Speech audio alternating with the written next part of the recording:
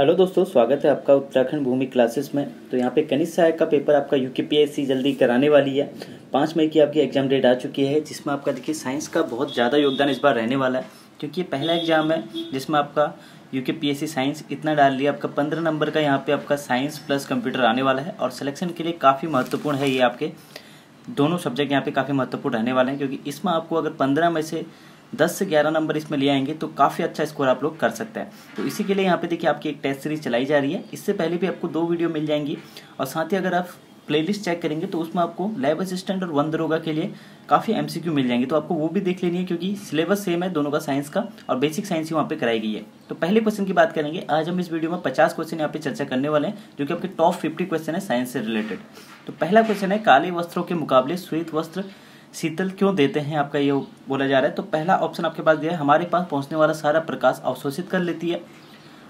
और दूसरा ऑप्शन आपके पास, उसके पास जो भी प्रकाश पहुँचता है, उसे वह प्रावर्तित कर देती है। प्रकाश भेदन नहीं होने देती है, या फिर डी ऑप्शन है, सूर्य का प्रकाश पूर्णतः शीतल कर देती है। तो आप यहाँ पे देखिए, आपको बोला जा रहा है, काले वस्त्र के मुकाबले श्वेत वस्त्र शीतल क्यों देते हैं? तो आपका देखिए, जो इसका राइट आंसर हो जाएगा बी ऑप्शन हो जाएगा, उसके पास जो भी प्रकाश पहुँचता है, वह उसे प्रावर्तित कर देता है। और अगर यहीं पे क्वेश्चन पूछा जा सकता है कि काले वस्त्र क्या करता है आपका, वो जितना भी प्रकाश होता है, उसको आपका अवशेषित कर देते हैं यहाँ पे। तो इसका आपका बी ऑप्शन यहाँ पे राइट आंसर हो जाएगा। पहले वाले का आंसर यहाँ पे देखिए आपका। उसके बाद बात करेंगे अगले क्वेश्चन की तो अगला क्वेश्चन यहाँ पे देखिए आपके दिया हुआ है। जो मेघ वाली रातें होती हैं, उसकी अपेक्षा जो निर्मल रात अधिक ठंडी क्यों होती है, इसका कारण आपसे पूछा जा रहा है। तो चालन है, द्रवण है, या फिर विकिरण है, या फिर सूर्यताप है। तो यहाँ पे इसका आपका राइट आंसर हो जाएगा विकिरण, जो कि आपका यहाँ पे देखिए आपका सी ऑप्शन यहाँ पे दिया हुआ है। ऐसे अगले क्वेश्चन पे जाते हैं, यहाँ पे देखिए अगला क्वेश्चन आपको दिया हुआ है। ऑटोमोबाइल में हाइड्रोलिक ब्रेकों का यहाँ पे कार्य कारण पर निम्नलिखित में से कौन सा सिद्धांत नियम लागू होता है? देखिए, काफ़ी पॉपुलर क्वेश्चन है, बहुत बार पूछा गया है, जो कि आपका हाइड्रोलिक ब्रेक है, उसमें आपका कौन सा नियम लगता है?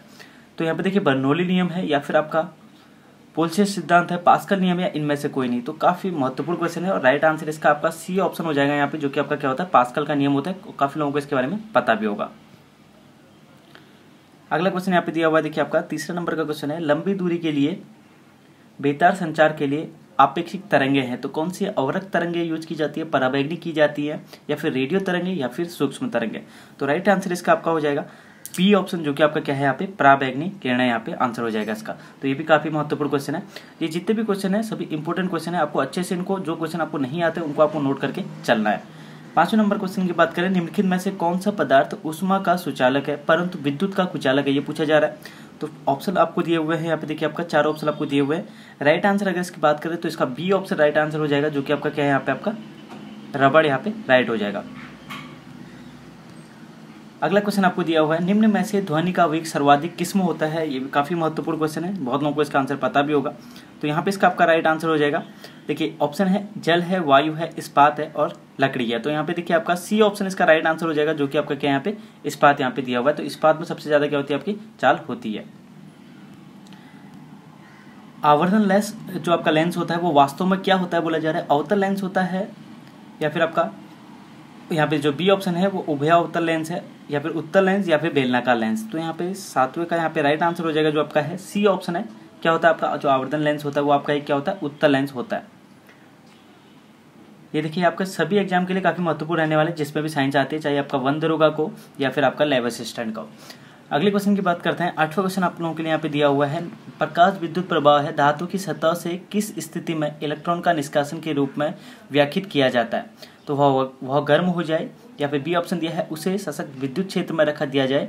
सी ऑप्शन दिया हुआ है, उपयुक्त तरंग दैर के प्रकाश उसमें गिरे या फिर डी ऑप्शन आपको दिया हुआ है, उपयुक्त वेग के इलेक्ट्रॉन उससे टकराए।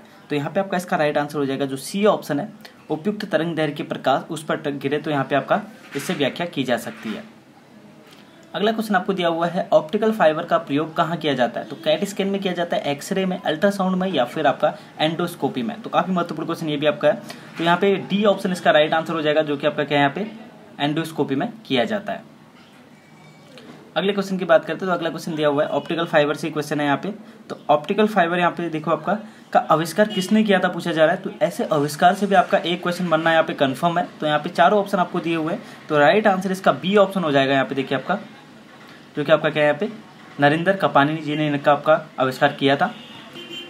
अगले क्वेश्चन की बात करते हैं। तारों के टिमटिमाने का कारण क्या है? तो बेसिक साइंस का बहुत पॉपुलर क्वेश्चन है, बहुत बार पूछा गया है। तो यहाँ पे देखिए आपका प्रकाश का परिवेक्षण है या फिर पूरा आंतरिक परावर्तन है टोटल इंटरनल रिफ्लेक्शन है या फिर वायुमंडलीय परावर्तन या वायुमंडलीय अपवर्तन है। तो राइट आंसर की बात करें तो वायुमंडलीय अपवर्तन इसका आंसर हो जाएगा डी ऑप्शन इसका आपका राइट आंसर हो जाएगा। तो ये क्वेश्चन भी बहुत बार पूछा जा चुका है। अगले क्वेश्चन की बात करेंगे, यहाँ पे देखिए, मोटर कारों में हेडलाइट की चौंध को हटाने के लिए किसका यूज़ किया जाता है? पतली परतें प्रयुक्त की जाती है फ़िल्टर प्रयुक्त किए जाते हैं पोलराइट प्रयुक्त किए जाते हैं, या फिर आपका कांच के प्रिज्म प्रयुक्त किए जाते हैं? तो बारहवें का आपका यहाँ पे राइट आंसर हो जाएगा, जो कि आपका क्या है? जो पोलोराइड है, जो सी ऑप्शन है आपका यहाँ पे पोलोराइड प्रयुक्त यहाँ पे किया जाता है। यहाँ से एक क्वेश्चन और बनता है आपका, देखिए, जो आपके जो पीछे देखने वाले शीशे होते हैं, उसमें कौन सा लेंस होता है? और जो आगे आपका हेडलाइट होता है, वो उसमें कौन सा लेंस होता है? ये भी काफ़ी महत्वपूर्ण है। इसका आपको आंसर कमेंट बॉक्स में बताना है। और जो अगर प्रीवियस आप वीडियोस देखेंगे जिसमें आपको एमसीक्यू कराए गए हैं तो वहाँ पे आपको सारे क्वेश्चन मिलने वाले हैं।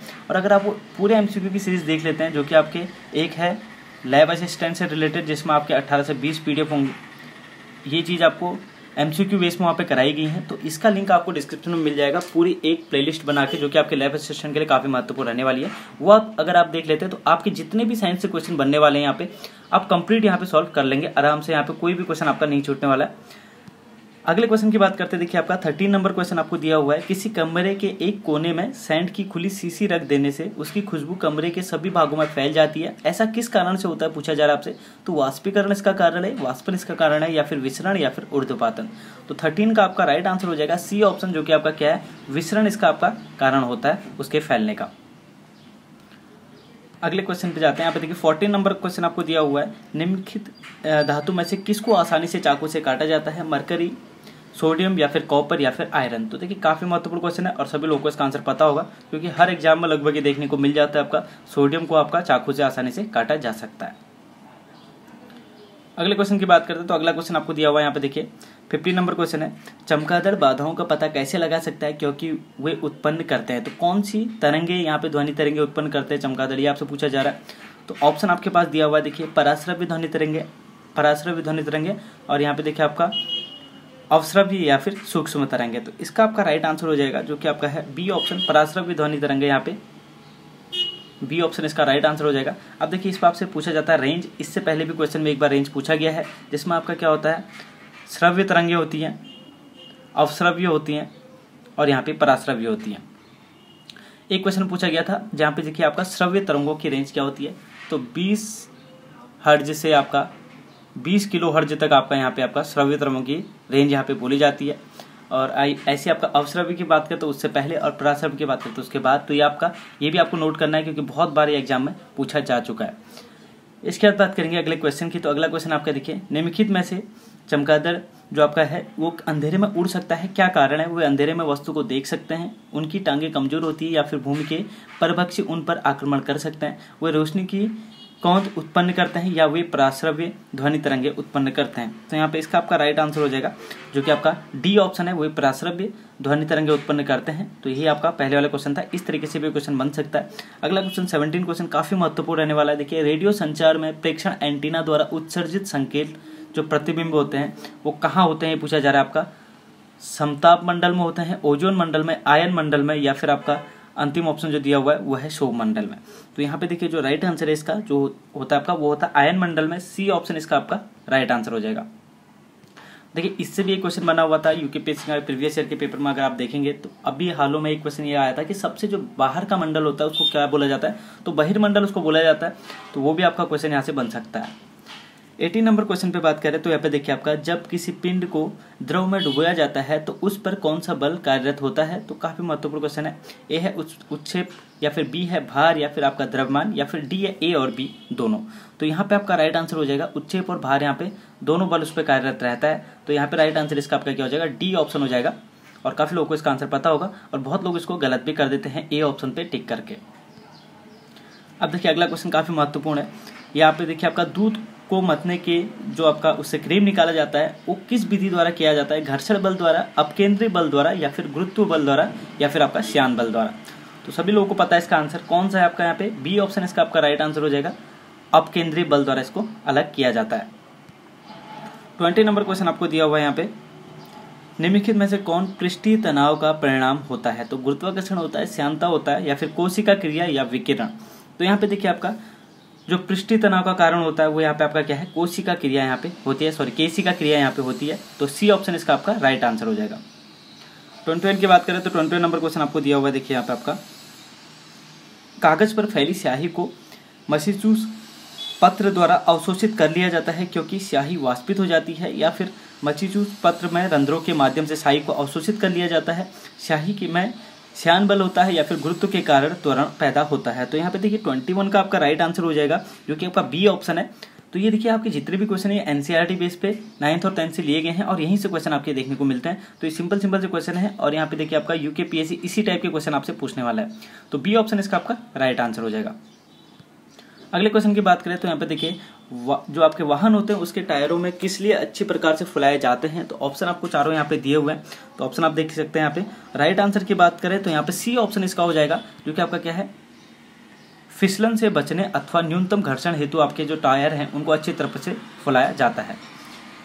अगले क्वेश्चन की बात करते हैं, किसी विशाल झरले की तली में पानी का तापक्रम उससे, जो उसके सबसे ऊपरी भाग की तुलना में अधिक होता है, क्योंकि तो यहाँ पे देखिए, बात की जा रही जो उसका झरने का, तली का ताप तापमान है, पानी का तो वो ज़्यादा होता है ऊपर के मुकाबले। तो ऑप्शन आपके पास चारों यहाँ पे दिए हुए हैं। तो राइट आंसर की बात करें तो यहाँ पे बी ऑप्शन इसका राइट आंसर हो जाएगा, जो कि आपको दिया हुआ है। तली के पानी में अधिक स्थितिज ऊर्जा होती है। तो यहाँ पे आपको डायरेक्ट भी पूछा जा सकता है, जो आपका जो झरना है, उसके तली में जो आपका पानी आ रहा है, उसमें स्थितिज ऊर्जा मैक्सिमम होती है फिर या गतिज ऊर्जा तो आपको वहाँ पे टिक करना है। स्थितिज ऊर्जा वहाँ पे मैक्सिमम आपकी होती है। नेक्स्ट क्वेश्चन दिया हुआ है ट्वेंटी फोर नंबर क्वेश्चन है। रेल की पटरियाँ अपने वक्रों पर, जो कि आपकी कर्व होते हैं वहाँ पे, किस कारण से बैंक की गई होती है, ये बोले जा रहा है। तो चारों ऑप्शन आपको दिए हुए हैं। तो ऑप्शन इसका आपको जो राइट हो जाएगा, वो हो जाएगा आपका सी ऑप्शन इसका। तो रेलगाड़ी का भार जो है, छत्तीस घटक से आवश्यक अभिकेंद्र बल प्राप्त किया जाता है। ट्वेंटी फाइव नंबर क्वेश्चन आपका देखिए रिपीट हो गया। हाइड्रोलिक प्रेस में किसका उपयोग किया जाता है, बोला जा रहा है। तो पास्कल का नियम बर्नोली का नियम आर्किमिडीज का या बॉयल का तो अभी आपको बता रखा है इसमें पास्कल का नियम ए ऑप्शन इसका आपका राइट आंसर हो जाएगा। ट्वेंटी सिक्स नंबर क्वेश्चन पे बात करेंगे तो ट्वेंटी सिक्स नंबर क्वेश्चन आपको दिया हुआ है। सबसे पहले ग्रह गति नियम का निरूपण किसने किया था? तो यहाँ पे ग्रह के गति का नियम किसने दिया था? बहुत बार ये क्वेश्चन आपका पूछा जाता है तो इसका आंसर आपका रहेगा कैपलर। आपको सिंपल से याद रखना है जॉनिस कैपलर बी ऑप्शन इसका आपका राइट आंसर हो जाएगा। ट्वेंटी सेवन नंबर क्वेश्चन पे जाते हैं तो यहाँ पे देखिए आपका, स्पिन ड्रेस में गीले कपड़े जो आपके होते हैं, निम्नलिखित में से किस क्रिया द्वारा सुखाए जाते हैं? तो सेम आंसर है जो आपका दूध से मक्खन निकाला जाता है, वही आपका जो आपका, जितने भी यहाँ पे आपके कपड़े सुखाने वाली मशीनें होती हैं, अगर कुछ भी नाम दिया जाए तो वहाँ पे आपका अपकेंद्रीय बल डी ऑप्शन इसका आपका राइट आंसर हो जाएगा। यहाँ पे आपका देखिए बी ऑप्शन इसका राइट आंसर अपकेंद्रीय बल यहाँ पे हो जाएगा। 28 की बात करें तो देखिए आपका पहिए में बॉल बेयरिंग का काम क्या होता है, पूछा जा रहा है आपसे। तो यहाँ पे देखिए चारों ऑप्शन आपको दिए हुए हैं। तो बी ऑप्शन इसका राइट आंसर है, गतिज घर्षण को बेलन घर्षण में बदलना, ये इसका आपका काम होता है। किसका आपका देखिए बॉल बेयरिंग का तो ये भी बहुत बार कुछ क्वेश्चन बनता है और ये आपका नाइन्थ टेंथ की साइंस से ही आपका लिया गया क्वेश्चन है। ट्वेंटी नाइन नंबर क्वेश्चन की बात करें तो बिजली का बल्ब जो आपका निम्नलिखित में से किस पे अर्धित होता है? तो यहाँ पे देखिए आपका जो बिजली का बल्ब है, उस पर आपका क्या होता है? पूछा जा रहा है शक्ति और धारा होती है या फिर आपका शक्ति और वोल्टता धारा और वोल्टता ऊर्जा और बिजली। तो राइट आंसर की बात करें तो बी ऑप्शन इसका आपका राइट आंसर होने वाला है, शक्ति और वोल्टता अब बात करेंगे यहाँ पे देखिए थर्टी नंबर क्वेश्चन है नॉट गेट किसके द्वारा क्रियान्वित किया जा सकता है? तो एकल डायोड से, दो डायोड से, एकल विद्युत रोधक से या फिर एकल ट्रांजिस्टर से? नॉट गेट कैसे बनाया जाता है ये पूछा जा रहा है आपसे। तो यहाँ पे एकल ट्रांजिस्टर से इसको बनाया जा सकता है, जो कि आपका यहाँ पे डी ऑप्शन यहाँ पे आपका राइट आंसर है। अब बात करेंगे अगले क्वेश्चन की। थर्टी वन नंबर क्वेश्चन आपको दिया हुआ है। जो ठोस उच्च उच्च ताप पर विद्युत का वहन करते हैं, परंतु न्यून ताप पर नहीं करते। वो क्या कहलाते हैं, आपसे पूछा जा रहा है। सिंपल सा क्वेश्चन है, अति चालक है, धात्विक चालक है, अर्ध चालक है या फिर विद्युत रोधी है।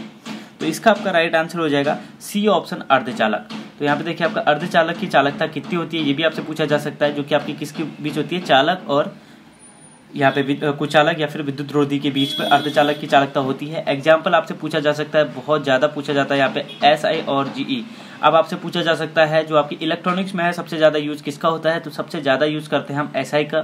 तो ये क्वेश्चन भी मैं आपको पहले, अगर आप वीडियोस देखेंगे तो वहाँ पे पूरे इसके बारे में ब्रीफ में बता चुका हूँ। और इससे आपका एक नंबर का क्वेश्चन पूछना कन्फर्म है, जो कि आपका क्या है? ट्रांजिस्टर से या फिर आपका जो सेमी कंडक्टर डिवाइसेस है, वहाँ से आपका एक क्वेश्चन इसमें बनने की पूरे पूरे चांसेस है। थर्टी टू की बात करें तो निम्नलिखित में से कौन सा सीआरटी का हिस्सा नहीं है आपका? तो कैथोड रे ट्यूब का हिस्सा कौन सा नहीं है, ये आपसे पूछा जा रहा है। ऑप्शन आपको यहाँ पे चारों दिए हुए हैं। तो सीआरटी का हिस्सा नहीं है तो इस पर बात करेंगे तो डी ऑप्शन इसका गैस प्लाज्मा जो है, ये इसका आपका हिस्सा नहीं है। जबकि इसमें फॉस्टर पट्टी आपको होती है, छाया होती है यहाँ पे आपके, और यहाँ पे साथ ही बात करें इलेक्ट्रॉन गन की तो वो भी यहाँ पे आपकी होती है। तो गैस प्लाज्मा इसमें आपकी नहीं पाई जाती है। अब काफ़ी महत्वपूर्ण क्वेश्चन थर्टी थ्री नंबर अच्छे से आपको देख लेना है। बहुत लोग कंफ्यूज करते हैं यहाँ पे। एक फ्यूज तार के मुख्य रूप में क्या होना चाहिए? तो फ्यूज तार में क्या होना चाहिए? आपका उच्च गलनांक होना चाहिए और अल्प प्रतिरोध होना चाहिए, या फिर आपका अल्प गलनांक, अल्प प्रतिरोध होना चाहिए। सी ऑप्शन है अल्प गलनांक, उच्च प्रतिरोध, या फिर उच्च गलनांक, उच्च प्रतिरोध। तो यहाँ पे इसका आपका राइट आंसर हो जाएगा, जो कि आपका सी ऑप्शन है। इसमें क्या होना चाहिए? आपका फ्यूज तार में क्या होना चाहिए? अल्प गलनांक होना चाहिए उसका। अल्प गलनांक होना चाहिए, साथ ही आपका उसका उच्च प्रतिरोध यहाँ पे होना चाहिए। तो यहाँ पे इसका सी ऑप्शन इसका राइट आंसर है। अगले क्वेश्चन की बात करेंगे, यहाँ पे देखिए, अगला क्वेश्चन आपको दिया हुआ है, सौर कोशिकाएँ किसके सिद्धांत पर कार्य करती हैं? तो प्रकाश के वोल्टीय प्रभाव पे, प्रकाश वैद्युत प्रभाव पे, प्रकाश चालकीय प्रभाव पे या प्रकाश संश्लेषण पे। तो 34 का यहाँ पे आपका राइट आंसर हो जाएगा, प्रकाश वैद्युत प्रभाव यहाँ पे, जो कि आपका क्या सा ऑप्शन दिया हुआ है? यहाँ पे देखिए, प्रकाश वैद्युत प्रभाव बी ऑप्शन यहाँ पे दिया हुआ है। तो 34 आपका यहाँ पे कंप्लीट हो चुका है। अब बात करेंगे 35 नंबर क्वेश्चन की। तो 35 नंबर क्वेश्चन यहाँ पे आपको दिया हुआ है। जो उल्लू होता है, वो अंधकार में भी देख सकता है। क्यों देख सकता है? यहाँ पे आपसे पूछा जा रहा है। तो ऑप्शन आपको यहाँ पे चारों दी हुई हैं तो बी ऑप्शन इसका राइट आंसर हो जाएगा, जो कि क्या है आपका उसकी बड़ी बड़ी आँखें। यहाँ पे आँखों के गोले आगे आँख की तरफ़ यहाँ पे निकले होते हैं, जो कि आपका द्विनेत्री दृष्टि प्रदान करते हैं। अब यहाँ पे देखिए, बहुत तो गलती क्या कर देते हैं? उल्लू वाले में भी आपका प्राश्रव्य वाला ऑप्शन दिखता है तो वहाँ पे क्लिक कर देते हैं। तो आपको ये याद रखना है, द्विनेत्री दृष्टि उसको प्रदान करते हैं, जो उसके आपके आगे की तरफ़ आँख निकली होती है।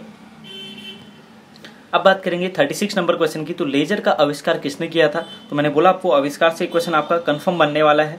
तो यहाँ पे देखिए करेक्ट आंसर की बात करें तो सी ऑप्शन यहाँ पे हो जाएगा आपका। टी एच मेमेन ने यहाँ पे किया हुआ था। तो ये आपका राइट आंसर हो जाएगा लेजर के आविष्कार से रिलेटेड अब बात करेंगे थर्टी सेवन नंबर क्वेश्चन की तो किसी स्थान पर चुंबकीय यामोत्तर और भौगोलिक यामोत्तर के बीच कैसा होता है आपसे पूछा जा रहा है। तो समक्रांतिक होता है, अक्षांश होता है, दिगंश होता है या फिर आपका नीति होता है। तो 37 का राइट आंसर हो जाएगा आपका संक्रांतिक जो कि आपका है ए ऑप्शन ये भी काफ़ी महत्वपूर्ण क्वेश्चन है, इसको भी आपको नोट करते हुए चलना है, जिनको आपका नहीं आता है. 38 की बात करें तो शीशे के संचयन वाले सेल में किस अम्ल का प्रयोग किया जाता है? तो यहाँ पे देखिए आपका सीचा संचयन सेल में आपका जो होता है सल्फ्यूरिक एसिड का अम्ल यूज़ किया जाता है, जो कि आपका क्या है यहाँ पे? डी ऑप्शन में यहाँ पे दिया हुआ है सीचा शीशा के संचयन वाले सेल में. अब बात करेंगे थर्टी नाइन नंबर क्वेश्चन में तो जल विद्युत पावर स्टेशन में ऊर्जा का परम स्रोत क्या होता है आपसे पूछा जा रहा है? तो ऊर्जा का कौन सा स्रोत होता है आप सूर्य का ऊर्जा होता है या फिर जल का विभव ऊर्जा होता है? जल की गतिज ऊर्जा, जल की वैद्युत रासायनिक ऊर्जा। तो जल विद्युत पावर की बात की जा रही है। तो राइट आंसर की बात करें तो सौर ऊर्जा वहाँ पे होती है आपका। सबसे पहले ऑप्शन यहाँ पे ए ऑप्शन यहाँ पे आपका राइट आंसर हो जाएगा। फोर्टी नंबर क्वेश्चन आपको दिया हुआ है। प्रकाश वर्ष किसकी इकाई है? यहाँ पे पूछा जा रहा है। तो समय की है, दूरी की है, प्रकाश की है या फिर आपका प्रकाश तीव्रता की है। तो सबसे देखिए आपका दूरी का मात्रक होता है आपका प्रकाश वर्ष सभी को पता होगा, काफ़ी महत्वपूर्ण क्वेश्चन है। अच्छे से इसको याद आपको करके ले जाना है। अब आपसे पूछा सकता है, दूरी की सबसे बड़ी इकाई कौन सी है? तो यहाँ पे बहुत लोग इसमें भी प्रकाश प्रकाश वर्ष को मान लेते हैं तो वहाँ पे नहीं। तो यहाँ पे आपका जो राइट आंसर है, इसका आंसर आपका दूरी हो गया बी ऑप्शन अब यहाँ पे देखिए अब ये पूछा था सबसे ज़्यादा जो बड़ी इकाई है दूरी की, वो कौन सी है? तो उसको बोला जाता है पारसेक और अगर बोला जाए सबसे कम, सबसे ज़्यादा वाली पार से कि आपको नोट करके चलनी है या फिर आपको याद भी इसको रखना है, सबसे कम की बात करें तो सबकी कम होती है आपकी फर्मी, जो कि आपकी क्या होती है, ten to the power minus fifteen होती है। तो दोनों आपको याद करके चलना है। अब बात करेंगे अगले क्वेश्चन की तो अगला क्वेश्चन आपको दिया हुआ है। फोर्टी वन नंबर है। इनमें से कौन सा प्रक्षेपात यहाँ पे जो है, भूमि से वायु में जाने वाला प्रक्षेपात था यहाँ पे? तो यहाँ पे देखिए, चारों ऑप्शन आपको दिए हुए हैं। त्रिशूल था के फिफ्टीन था, अग्नि था या इनमें से कोई नहीं। तो फोर्टी वन का आपका यहाँ पे राइट आंसर हो जाएगा त्रिशूल, जो कि आपका क्या है यहाँ पे? बी ऑप्शन में यहाँ पे आपको दिया हुआ है। अब बात करेंगे अगले क्वेश्चन की। तो देखिए टू जी स्पेक्ट्रम में जो प्रयुक्त जी अक्षर था, वो क्या था आपका, ये पूछा जा रहा है। तो सभी को पता होगा, वो आपका सी ऑप्शन इसका आपका राइट आंसर हो जाएगा। टू जी मतलब सेकंड जनरेशन यहाँ पे बोला जाता है। ऐसे अगर थ्री जी बोला जाता है तो उसमें भी जी का मतलब वही है आपका। फोर्टी थ्री का बात करेंगे तो फोर्टी थ्री में आपका दिया है ट्राई नाइट्रो टाइलिन यहाँ पे का विस्फोटक निम्नलिखित में से किसके मिश्रण द्वारा किया जाता है? तो कौन सा मिश्रण होता है? उसमें ऑप्शन आपको चारों दिए हुए हैं। तो डी ऑप्शन इसका राइट आंसर हो जाएगा अमोनियम नाइट्रेट का मिश्रण उसमें आपका किया जाता है। 44 की बात करें तो निम्नलिखित विखंडन में से सतत प्रक्रिया को जारी रखने के लिए किस कण की ज़रूरत होती है? तो यहाँ पे देखिए यूरेनियम विखंडन की बात की जा रही है। तो इलेक्ट्रॉन को प्रोटॉन को न्यूट्रॉन को या फिर इनमें से कोई नहीं। तो यहाँ पे आपकी बात करें तो न्यूट्रॉन यहाँ पे होता है राइट आंसर तो इसका आपका देखिए, सतत प्रक्रिया जारी करने के लिए इसकी ज़रूरत की जाती है न्यूट्रॉन की। अब बात करते हैं विखंडन की बात की जाए तो इसको अगर आपका मंदन के रूप में किसको यूज़ किया जाता था आपका यूरेनियम विखंडन में? तो मंदक के रूप में वहाँ पे आपका ग्रेफाइट को यूज़ किया जाता है। तो ये भी आपको याद रखना है, ये चीज़ आपको पहले भी पूरी बता रखी है। अब बात करेंगे परमाणु रिएक्टर में प्रयुक्त ईंधन कौन सा होता है? तो डी ऑप्शन इसका आपका राइट आंसर हो जाएगा। ईंधन की बात करें तो यहाँ पे आपका यूरेनियम इसका ईंधन परमाणु रिएक्टर में यूज़ किया जाता है। इसके बारे में पूरी डिटेल में आपको वहाँ पे एमसीक्यू मिल जाएँगे तो आपको अच्छे से देख लेना है। अब बात करेंगे 46 में अति लघु समय अंतरालों को सही सही मापने के लिए निम्नलिखित में से किसका प्रयोग किया जाता है बोला जा रहा है। तो यहाँ पे देखिए चारों ऑप्शन आपको दिए हुए हैं तो सी ऑप्शन इसका राइट आंसर हो जाएगा, जो कि आपका क्या दिया हुआ है यहाँ पे देखिए, परमाणु घड़ियों का यहाँ पे यूज़ किया जाता है। अब बात करेंगे 47 नंबर क्वेश्चन की। तो देखिए 47 नंबर क्वेश्चन में आपको दिया हुआ है न्यूक्लियर रिएक्टर में न्यूट्रॉनों न्यूट्रॉन को किसके अवमंदित किया जाता है? तो यहाँ पे देखिए आपका अवमंदित करने कौन सी है? यहाँ पे विखंडीय पदार्थ है मॉडुलेटर है नियंत्रक छड़ है या फिर शीतल प्रणाली है। तो यहाँ पे आपका मॉडरेटर बोला जाता है उसको। तो यहाँ पे देखिए आपका ऑप्शन कौन सा राइट आंसर हो जाएगा? तो बी ऑप्शन इसका आपका राइट आंसर हो जाएगा। अब बात करेंगे 48 की। चंद्रमा पर आने जाने की यात्रा के दौरान अधिकतम ईंधन कब खर्च होता है? तो ऑप्शन आपको चारों यहाँ पे दिए हुए हैं। राइट आंसर की बात करें तो राइट आंसर यहाँ पे आपका हो जाएगा। 48 नंबर क्वेश्चन का यहाँ पे। जो कि आपका है डी ऑप्शन, पृथ्वी पर पुनः प्रवेश करने और हल्का हल्का उतरने पर पृथ्वी के गुरुत्व को पार करने में। तो इसमें आपका सबसे मैक्सिमम ईंधन यहाँ पे खर्च की जाती है। 49 की बात करें तो 49 नंबर क्वेश्चन आपको दिया हुआ है, देखिए यहाँ पे आपका।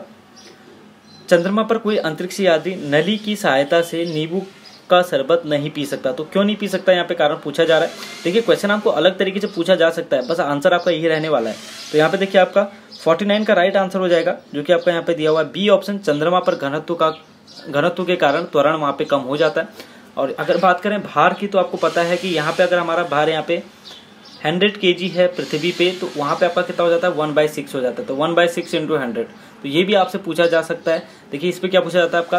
कि आपका यहाँ पे देखिए, वहाँ पे आपका एक हज़ार के अगर चंद्रमा पे भार है तो पृथ्वी पर कितना होगा? या फिर पृथ्वी पर अगर एक हज़ार के भार है तो चंद्रमा पर कितना होगा? अगर बात करें अभी यहाँ पे देखिए द्रव्यमान का तो द्रव्यमान आपका सेम रहता है, ये आपको नोट करते हुए चल रहा है, क्योंकि बहुत लोग यहाँ पे गलती कर देते हैं। द्रव्यमान आपको दिया जाता है कि यहाँ पे आपका वन के जी है, जो कि आपका पृथ्वी पर है, वही चंद्रमा पर रहने वाला है तो वन के जी वन के जी सेम रहेगा द्रव्यमान के उसमें, और भार की बात करें वन बाई सिक्स हो जाता है आपका चंद्रमा पे। तो फोर्टी नाइन नंबर क्वेश्चन आपका हो जाएगा। फिफ्टी नंबर क्वेश्चन आपको दिया हुआ है, नाभिकीय रिएक्टर में कि इसमें से कौन सा ईंधन काम करता है? तो कोयला यूरेनियम रेडियम या फिर डीजल तो राइट आंसर इसका आपका बी ऑप्शन हो जाएगा, जो कि आपका क्या है? यूरेनियम यहाँ पे आपका राइट आंसर हो जाएगा।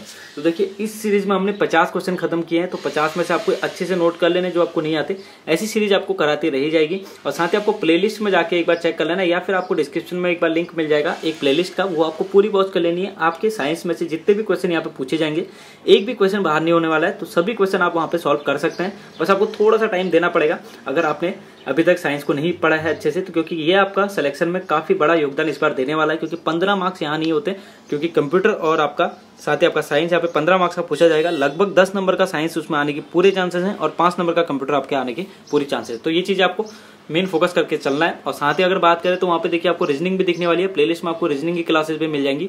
तीन वीडियो हैं, उनको आप देख लीजिए। एक बार अच्छे से समझ लीजिए। उतना ही आपके लिए काफ़ी है यहाँ पे रीजनिंग को सॉल्व करने के लिए। तो इस वीडियो में बस इतना ही। वीडियो पसंद आई तो लाइक करें। साथ ही टेलीग्राम ग्रुप से जुड़ जाए। पीडीएफ आपको टेलीग्राम ग्रुप पर मिल जाएगी। लिंक आपको डिस्क्रिप्शन में मिल जाएगा। फिर मिलता है अगली वीडियो में। Thank you so much